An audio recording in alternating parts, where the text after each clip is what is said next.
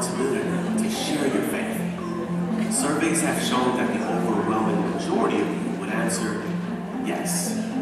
Okay, so what about this question? Have you shared your faith with anyone in the last six months? Surveys have shown that a majority of you would answer this question no. I guess it's just not as easy as it seems, or at least as easy as we'd like it to be. Well, here's another question. How many times have you personally invited an unchurched person to church? Now, this seems simple, right? And yet, surveys tell us that almost half of you would answer zero. I mean, there are lots of reasons why we don't, right? Like, maybe it still feels a little awkward and uncomfortable. Or maybe we're just unsure how effective it is.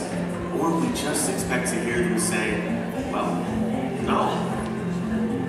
So listen to this.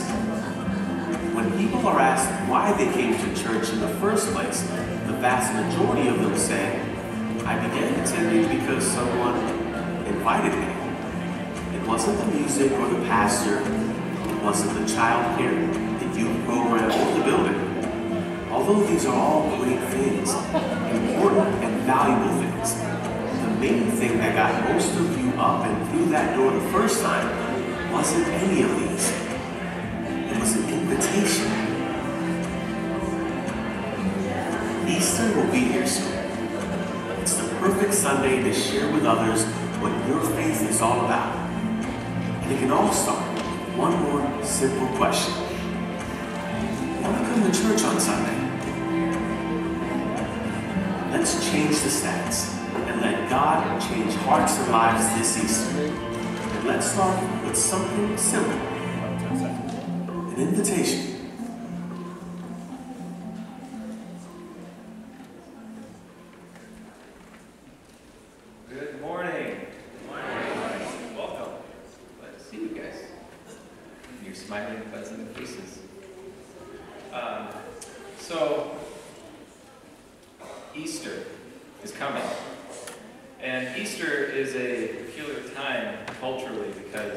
Typically church culture and uh, the culture of our, of our nation, they're pretty much divided. They're, they're, go, they're going this way. 30 years ago, 50 years ago, that wasn't true. They were kind of marching along in, in very similar ways. Um, so we had a cultural Christianity, and that's disappearing. But Easter and Christmas are two culturally relevant times for people to start thinking about God, about church, uh, especially for those who used to go to church and they don't anymore. So it's an easy invite, and I'm I'll confess I'm not typically one to invite people to church because it's confusing them, it's awkward.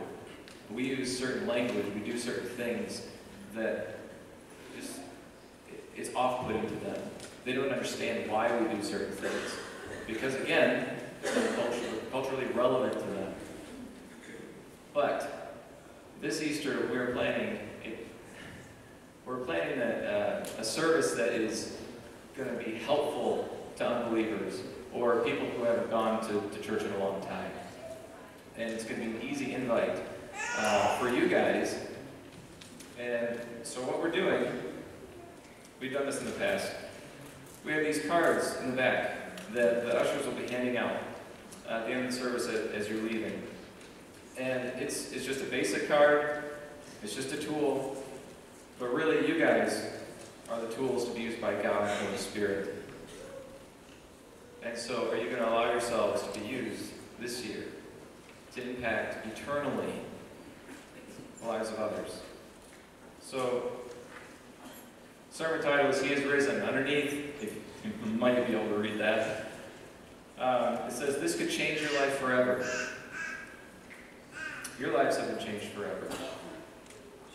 And you could help impact the kingdom with a simple invitation. The way you received a simple invitation from a Savior who met you right where you were at, no matter what your circumstances were. So that's going to be, that's what we're going to be focusing on this year. And yes, it is a, it is a numerical focus in, in growth, and healthy churches grow numerically as well. And so this, the, the statistic says a healthy church typically grows by 10%, 10% each year. Now, for a church of 60, you know, it's like, oh, six people, great. Um, but that's noticeable in that small group. And here we, we run about 200. And that would be 20 people. 20 new people in here who either haven't been to church in a long time or have never heard any of this to begin with. And so we can be the change agents. We can be God's tools in his hands. So as you leave, or actually through the service, the next upcoming weeks leading up to Easter, be thinking, be praying about, is there something in my life that God is calling me to invite? So let's be thinking about that and praying about that. Um, so this service uh, is, a, is a, special one as well. We're focusing on the assurance of salvation. And so all of our songs, uh, the, the, message is focused in that direction. And how thankful we can be that we, that we know we're saved. Now flip that. All the people who, who aren't Christians, they don't have that. Thank you, Lord. So let's open in prayer. Father, we thank you for who you are and what you've done in our lives. Lord, you've called us out of darkness into your goodness, into your holiness, Lord, into your salvation. We lift ourselves uh, to you as an offering this morning. And we thank you for allowing us to be here, uh, to be among one another, be encouraged by one another. And Lord, to be encouraged by you, to be grown by you. And we thank you. In Jesus' name. basis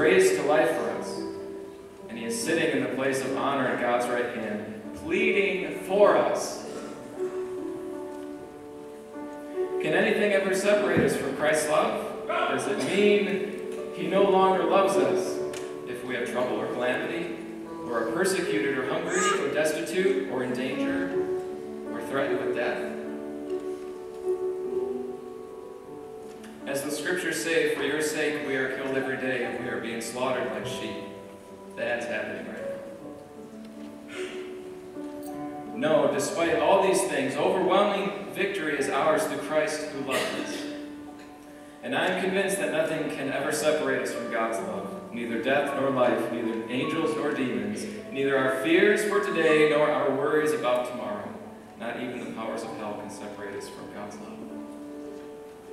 No power in the sky above or in the earth below. Indeed, nothing in all creation will ever be able to separate us from the love of God that's revealed in Christ Jesus our Lord.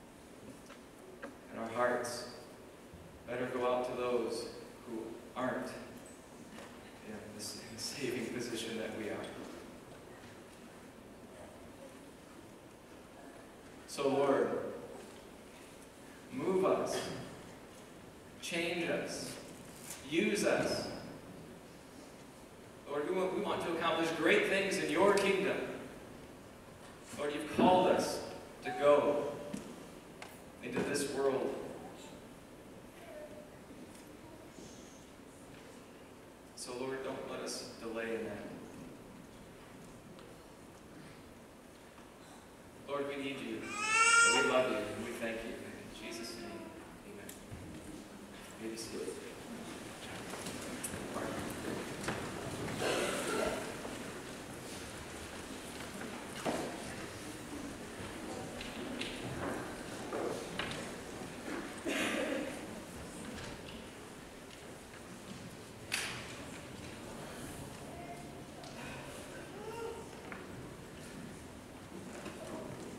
As the choir is coming up, uh, I wanted to come before you this morning representing the Pastoral Search Committee to give you a little update.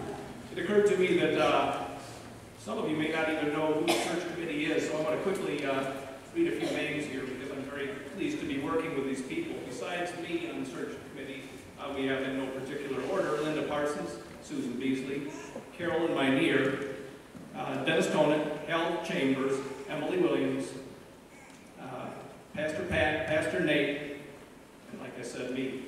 A um, couple of quick uh, notes. Thank you for everyone who has filled out a survey. Uh, the last count was something around 90-ish we've received. I think a few more may be trickling in. But if you're interested in seeing some of the tallied results, uh, they're on, a, on the table out in the foyer. We did not include all the written comments on those survey results, but uh, rest assured, the, the team members have read or are reading every one of those surveys, including the notes. They're very important to us. Thank you again for filling those out. I want to give a special thank you to Linda Parsons, who's worked very diligently uh, collecting the surveys, tallying them, and putting them together for us to, uh, to read. So thank you, Linda, very much. She's a valuable team member. Um, another thing, the, the website is going to have an update here in the very near future.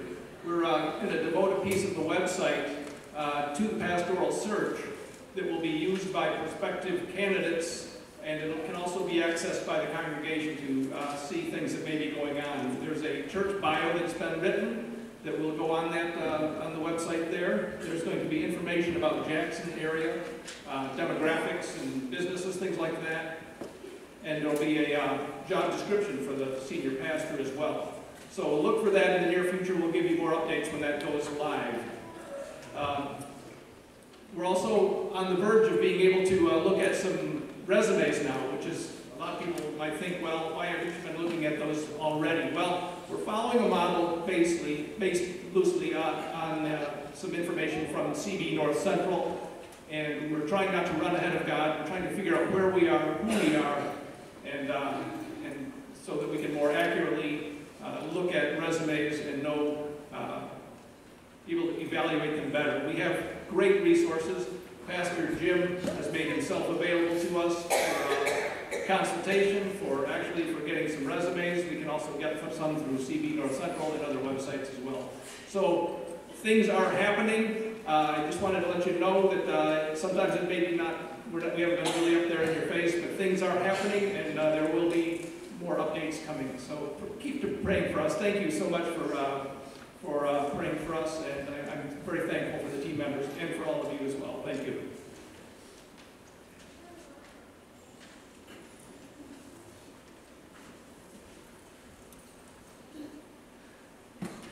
Can you guys read this? It says, We love because he first loved us.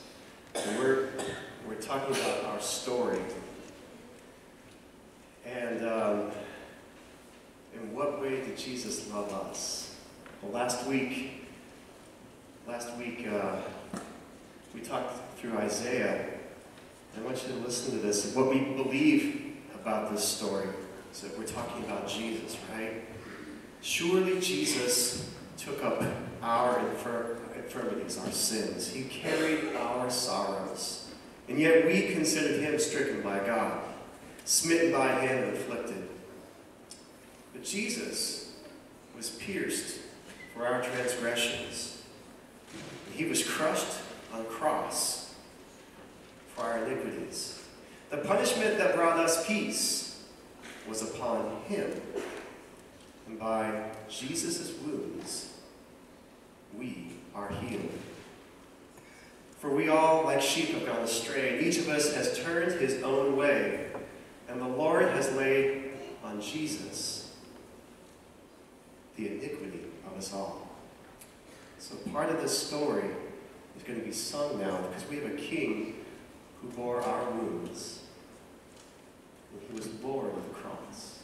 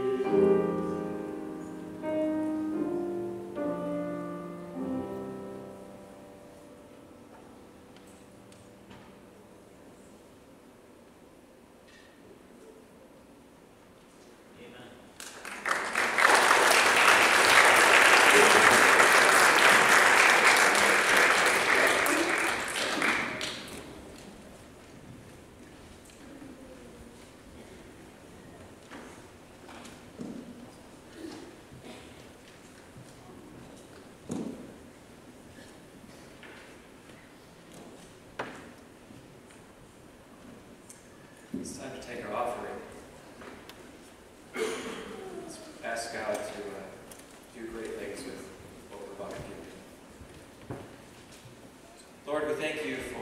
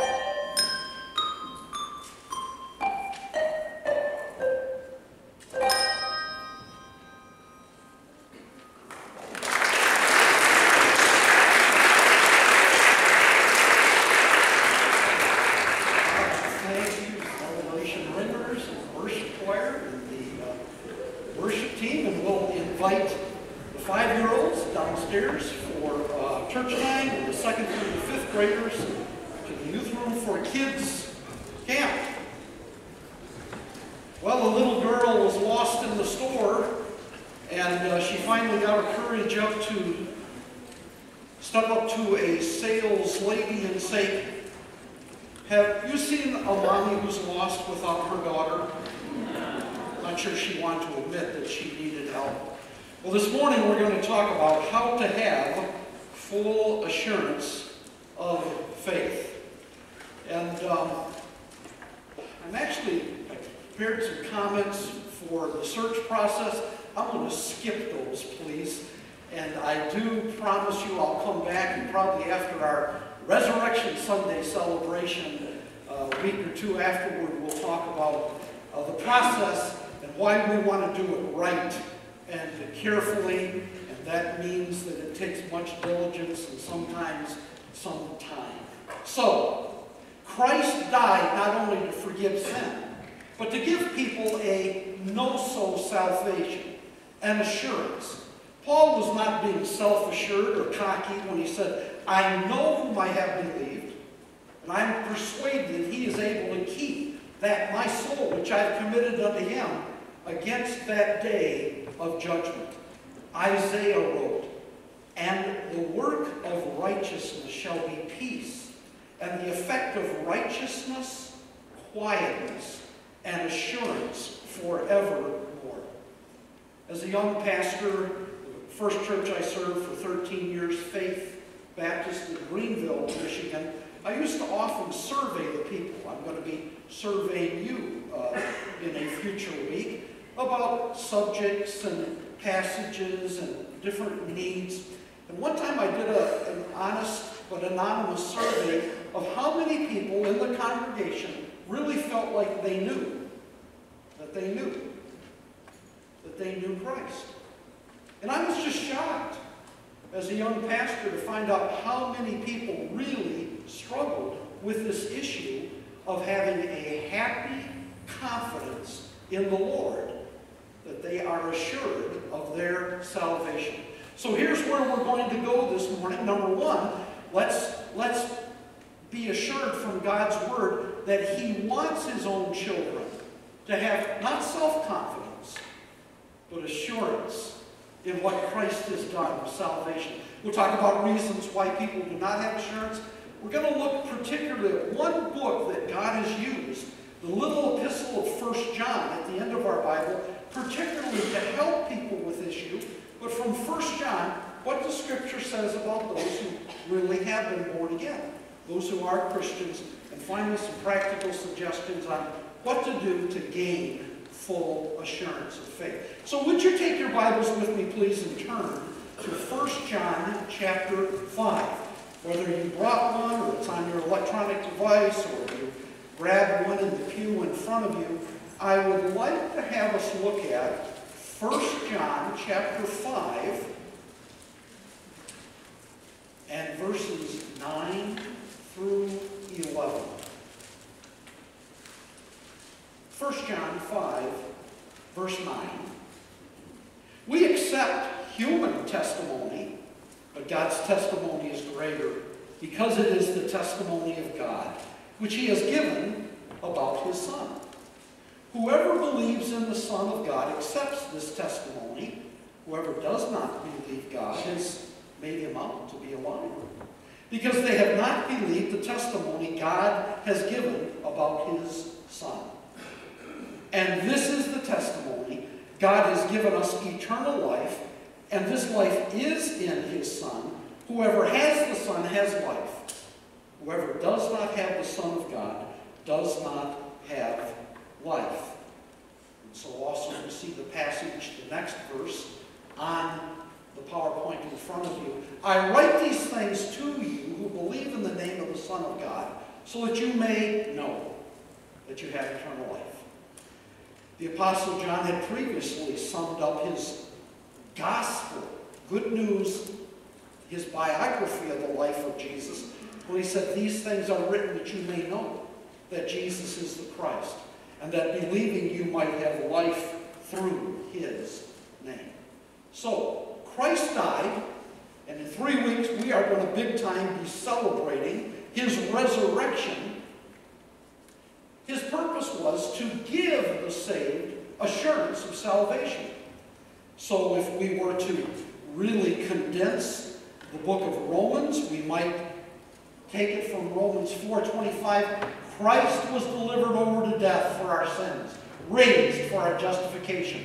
And Patrick read to us those encouraging words of affirmation from Romans 8. Now, therefore, there's no condemnation to those who are in Christ Jesus. beginning of the chapter and end of the chapter. Nothing will separate us from the love of God that is in Christ Jesus our Lord. And the Bible teaches that the Holy Spirit, one, one of the, the paraclete, the one called alongside to help, the holy guest, the Holy Spirit, his role is to assure Christians of salvation. For you did not receive a spirit that makes you a slave again to fear, you received the spirit of sonship. And by him we cry, Papa, Abba, Father. The Spirit himself testifies with our spirit that we are God's children. I know the case of a woman who actually was dying. The pastor met with her, and as he walked her through the scriptures, she gained real assurance of salvation. And God gave her what we might call dying grace. But she didn't die. She got better. And she said, Pastor, what do I do now? He said, live in living grace and in full assurance of salvation. Now, as I said by way of introduction, the reality is that many people do not experience, for various reasons, full assurance of faith. So, my dear wife Nancy has been very gracious to share a bit of her story this morning. This is not her favorite thing to do. Thank you, honey. Good morning. I was raised in a um, gospel-believing home and had um, parents that took us to church all the time. Um, I was probably converted as a young child, but I couldn't tell you for sure just when. Um, I truthfully have struggled my whole life with assurance of salvation. I go in and out of my feelings of, oh, do I really know Christ? And um, I want to talk a little bit about that today because I'm sure that some of you have some similar feelings. Um, but I had to learn that um, God is the one that does the saving. That's not me. And I knew it wasn't my good works or baptism or church attendance, any of those things. I knew that. Um, but I was struggling with trying to have enough faith, I think is what it was. And um, I wasn't sure that I had saving faith or that I had exercised enough of the faith. Um, I had to put my confidence in the Word of God and let my feelings go to the side. So, um, one of the reasons that sometimes we doubt our salvation has to do with our temperament. I'm very introspective and I'm always evaluating my decisions and my feelings and why I did something. And some of you are that way. Um, we're introspective. And sometimes it's to our detriment. Um, we need to let um, the feelings of doubts go and look at the scriptures and say, God said it is enough that Jesus died. Um, I've never had doubts about who Christ is or that everyone else could ask Christ to be saved and they'd go to heaven. So it wasn't um, that type of doubt for me. Um, but I think it was a lot of my temperament. And then secondly, the enemy, Satan, loves to get a hold of us and, and give us these um, doubts because then we're very ineffective. It's like, how can I tell someone else the way to heaven? But you know what? I did anyway. I'm always pointing to people, pointing people to Christ and talking to them. And so that, to me, is one of the evidences that God is in my life. There are other evidences that go along with that. Um, loving people, loving the brethren. And the Holy Spirit guides me. I've had so many answers to prayer um, weekly that God comes through and, and does miraculous things um, in the lives of my children or just um, in daily circumstances. So I've had to learn um, to take Scripture at face value and realize that Christ died for the ungodly. He died the just for the unjust, that he might bring us to God.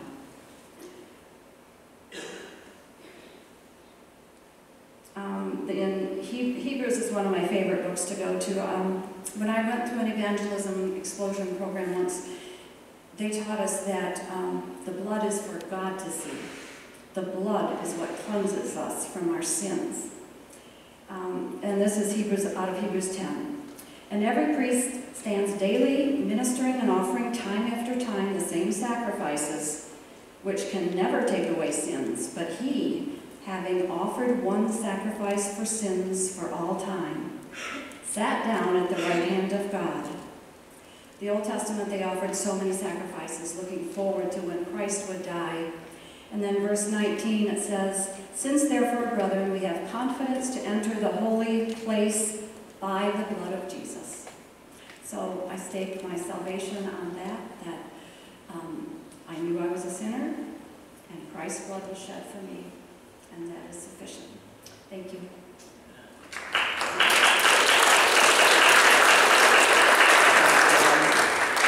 Well, let's make it not a potential candidate for the pastor here, and uh, I'm not going to be sending you uh, lady preacher resumes.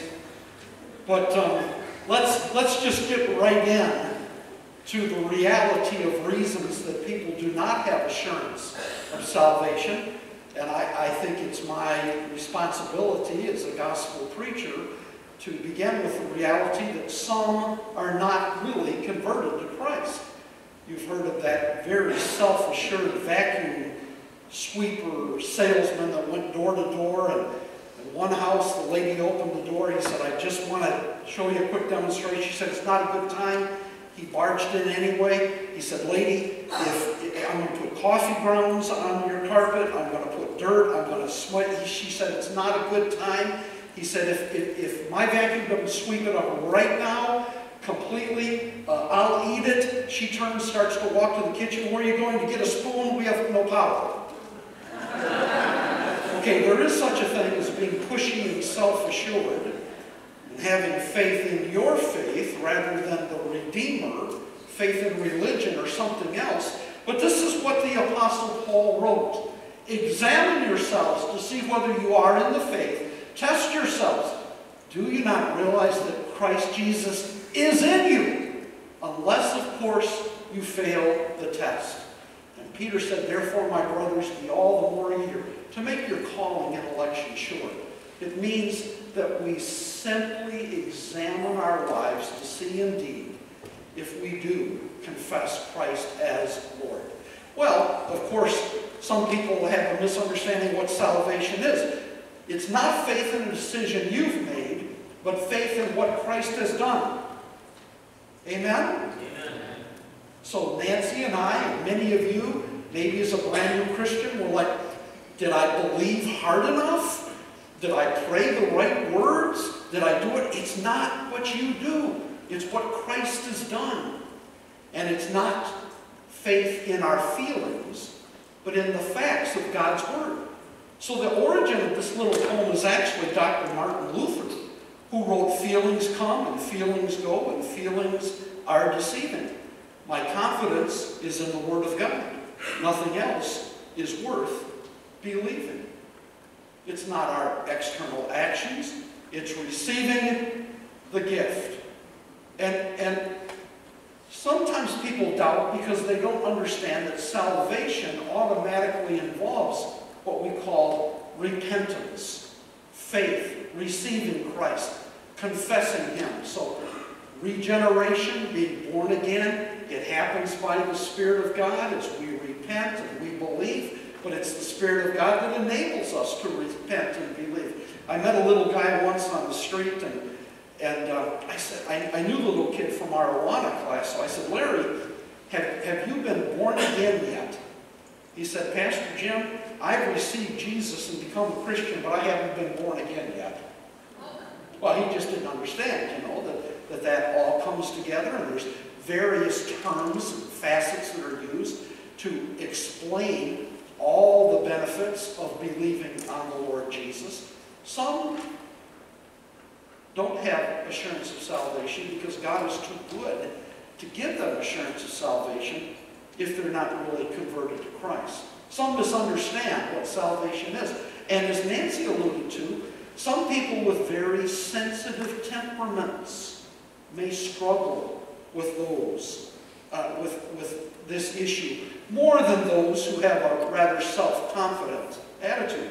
If, if you're a talented, melancholy temperament, a somewhat self-introspective person, or if you have a very sensitive conscience, God bless you for that. But then that does mean that you need to look to Christ and not to your own feelings. Well, some people struggle because of background issues.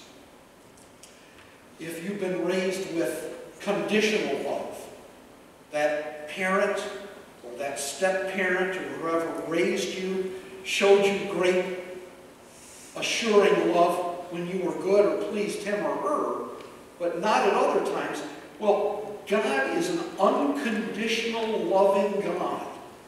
But we often gain our attitudes of the Almighty from our human parenters.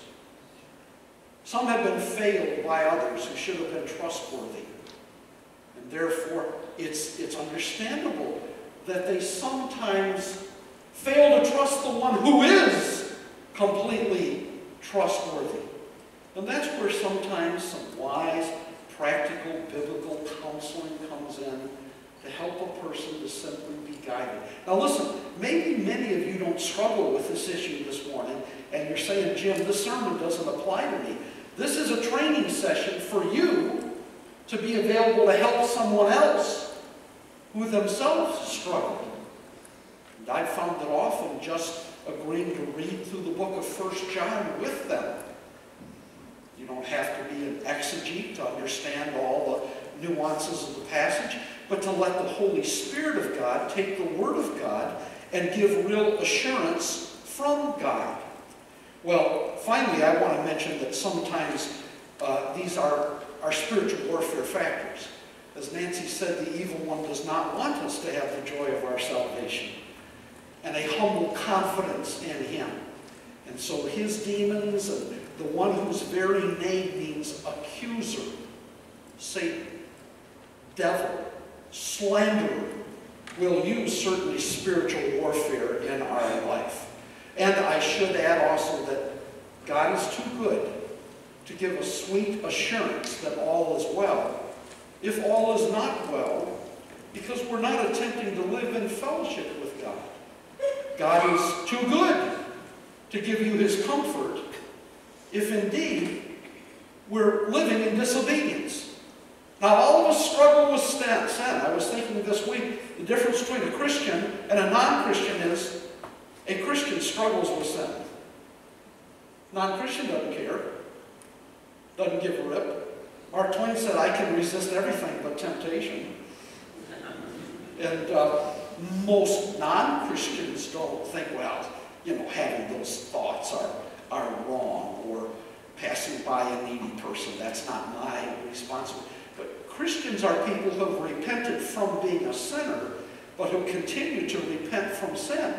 First John, if we say we have no sin, we deceive ourselves, and the truth is not in us, but if we confess, we agree with God about our sins. He's faithful and just to forgive us our sins, to cleanse us from all unrighteousness. If we say we have not sinned, we make him out to be a liar, and his word is not in us. 1 John 2, 1, My little children, I write these things to you that you do not sin. But if anyone sins, we have an advocate we have one who pleads our case, and he is Jesus Christ, the righteous.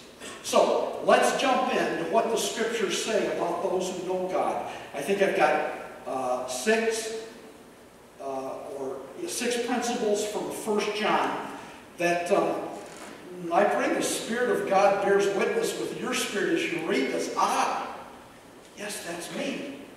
A Christian is someone who desires to obey the commandments of God. We know that we have come to know Him. That's assurance of salvation. We know that we have come to know Him if we obey His commands. The person who says, I know Him, but does not do what He commands is a liar, and the truth is not in him. But if anyone obeys His word, God's love is made complete in him. Do we obey perfectly? No. Is our desire to obey? Yes. I remember when a guy named Tom, a drug dealer in Greenville, got saved. And we met the week afterward and started working through a little navigator booklet called Lessons in Assurance. And he said, man, I want to live different. I want to obey what this Bible's telling me to do. He had a desire from the Spirit, whose name is holy. This is how we know that we are in him. Whoever claims to live in him must walk as Jesus did. I put some other passages on there. We don't have time for them, but I want to repeat my offer. If you ever want the PowerPoint, I'll just, just give me your email and I'll be happy to send it to you. Well, number two, those who truly know God love their brothers and sisters in Christ. Look what John says. We know that we have passed from death to life. Why? Because we love our brothers.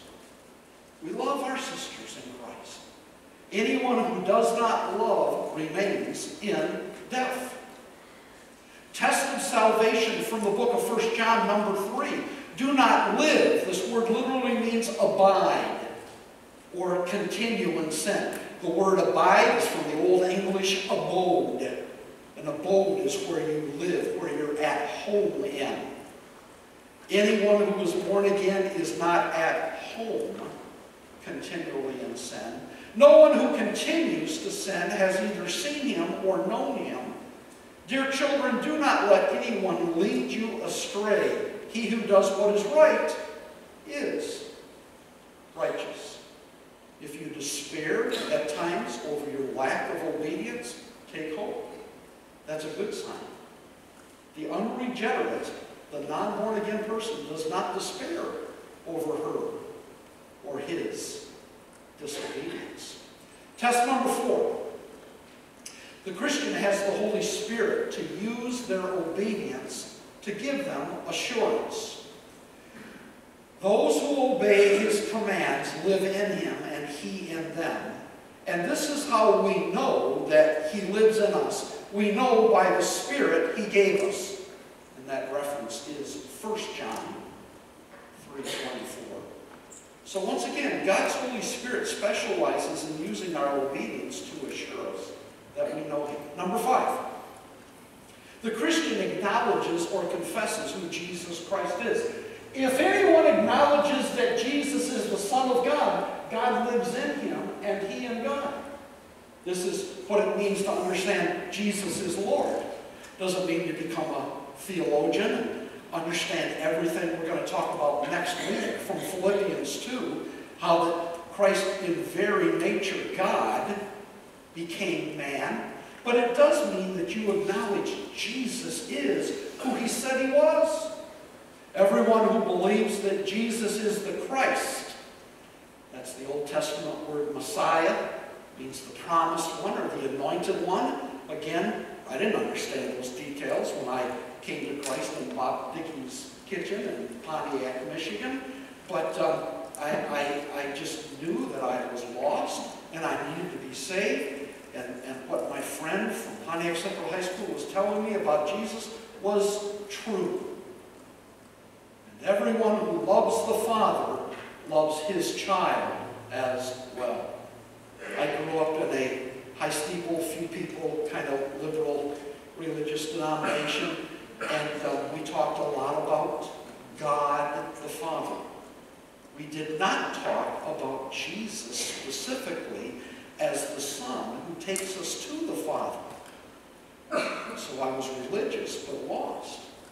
But Jesus said, I am the way, the truth, and the life. No one comes unto the Father but what? By me. Number six.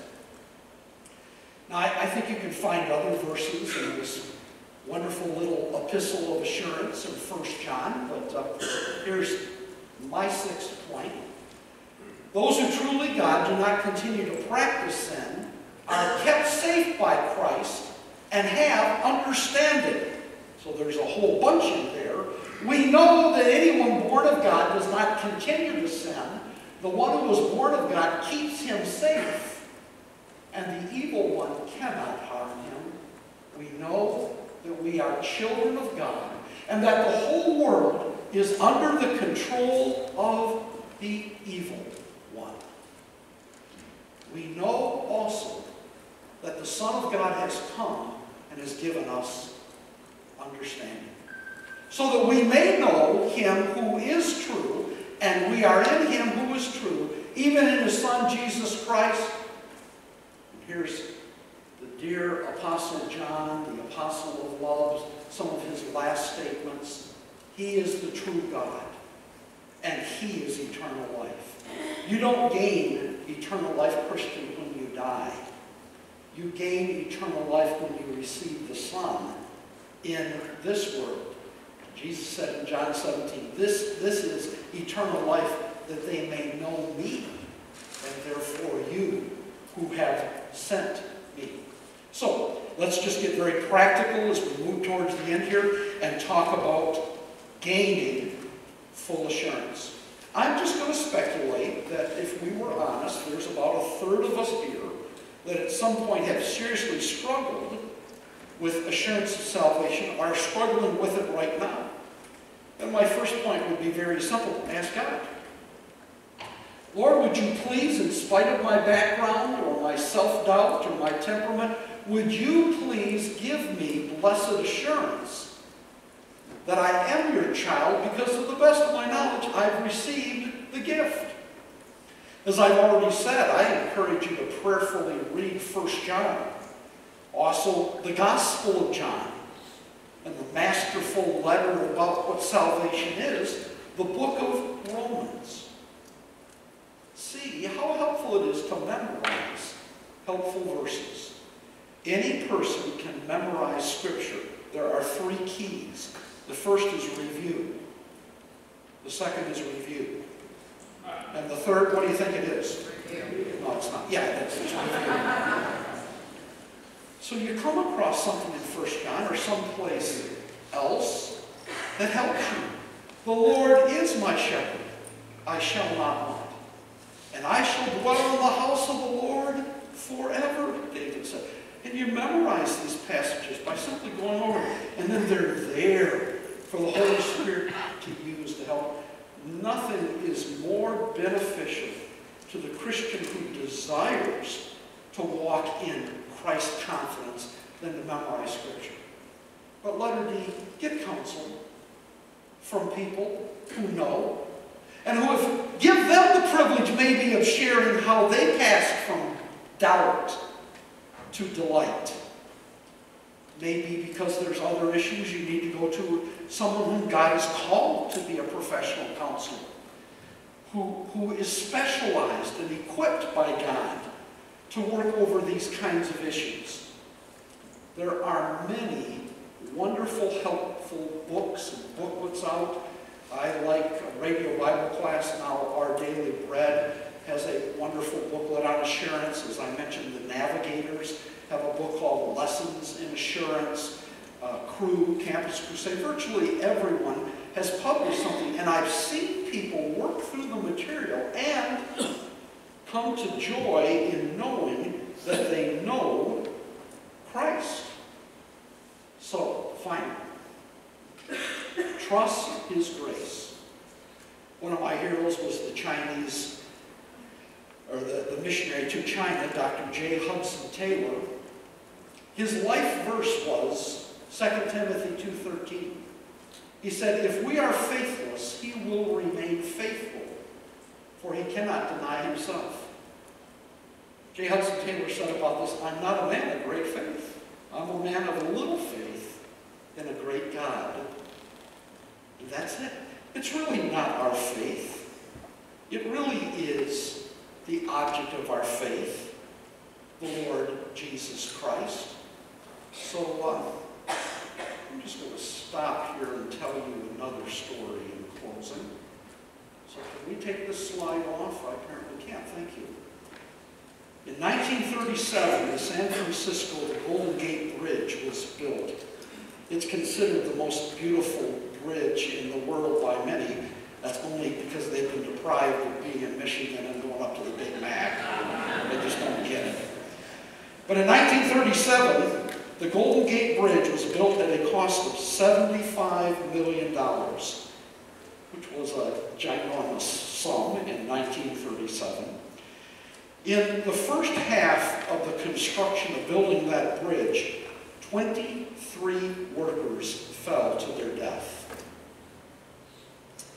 So they constructed a safety net at the cost of $100,000 plus, again, an enormous sum at that amount of time, that they put underneath that bridge.